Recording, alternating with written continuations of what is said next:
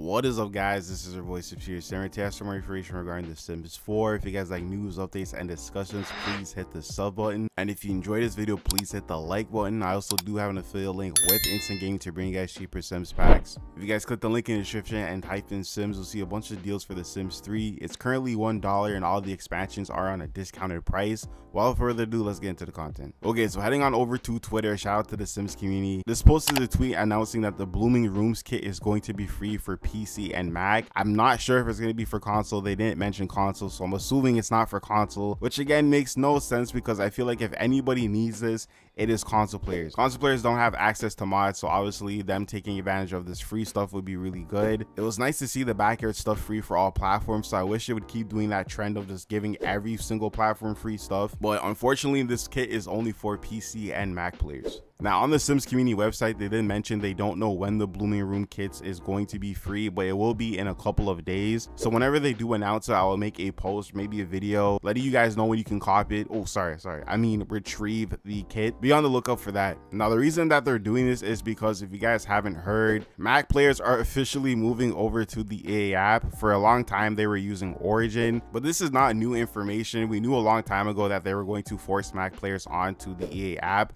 Again, I don't know why they're forcing Mac users to use the EA app. The EA app has been nothing but complete shit. I still to this day have issues with the EA app. For some weird reason, it will like make my games disappear and I have to like restart the app.